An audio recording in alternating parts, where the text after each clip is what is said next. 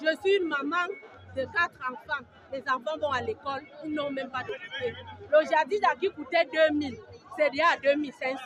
L'huile qui coûtait 1200 est déjà à 1800 le maillot. Le diamant coûte 1550 au quartier, mais ici, là, au commis, c'est 1200.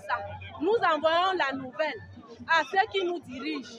Les Camerounais souffrent. Ne restez pas dans les bureaux là-bas pour nous dire que tout va bien. Rien ne va au Cameroun. Rien. Nous souffrons. On n'a rien. Nous n'avons rien à manger. Nous voulons manger.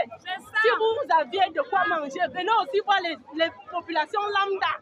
Vous restez dans vos bureaux, mais on vous attend pour les votes, pour venir nous flatter. C'est le maintenant là, c'est maintenant qu'on veut vous voir avec les Vous qui sont venus nous flatter, on vous a voté, mais on ne voit rien. On nous dit qu'il y a eu coronavirus, on nous dit que l'Ukraine est montée, l'Ukraine est suivie. C'est aujourd'hui qu'on se rend compte que le Cameroun ne nous fournit rien, que tout vient d'ailleurs. Je vois ici le riz du Cameroun est plus cher que le riz qui vient d'ailleurs. Comment ça se fait? Comment nous pouvons produire au Cameroun, mais on mange nos propres choses chères?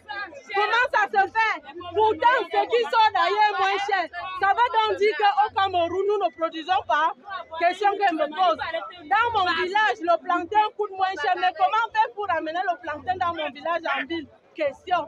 Je vous envoie dire à Papa Paul Biya et aux autres et tout le, le Cameroun que descendez, revenez nous voir ici.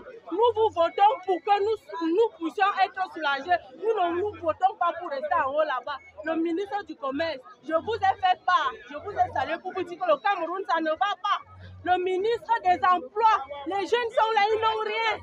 Venez, venez nous voir, nous les jeunes, il y a le travail que vous pouvez donner aux jeunes. Les jeunes même peuvent se créer le, travail, mais c'est vous qui ne nous faites pas confiance.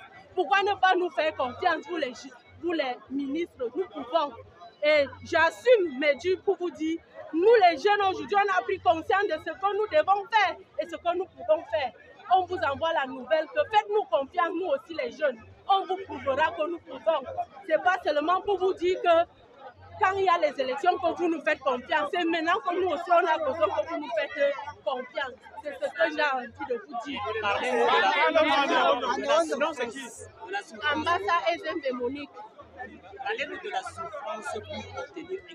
Pour obtenir un ici, là, je suis ici depuis 6 heures. J'étais à la délégation régionale. On nous a fait